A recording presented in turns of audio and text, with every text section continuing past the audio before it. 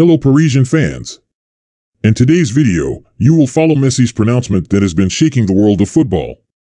Comment below where in the world you are following our channel. Argentina icon Lionel Messi has confirmed that this weekend's final in Qatar will be the last World Cup game of his career.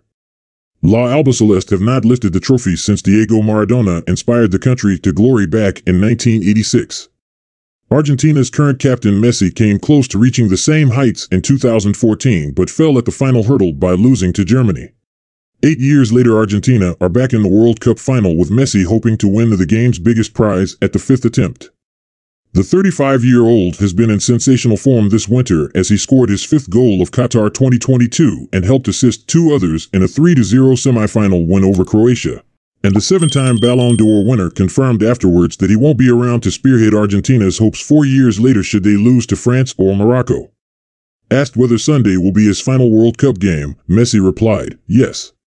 Surely yes. There's a lot of years until the next one, and I don't think I have it in me, and finishing like this is best. I feel a lot of happiness to be able to achieve this.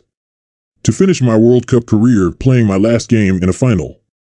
Everything I've lived in this World Cup, what people experienced, and how much the people back in Argentina are enjoying it all is very emotional. I'm enjoying everything a lot. I feel strong to be able to face each match.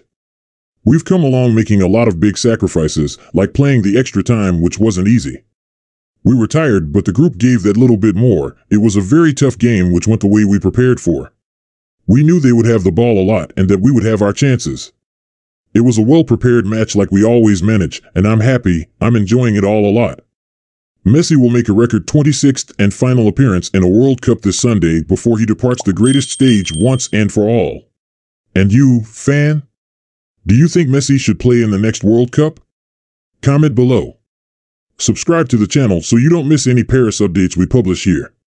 Leave a like to help us reach more and more Paris fans with information about our club. Until the next video, let's go Paris.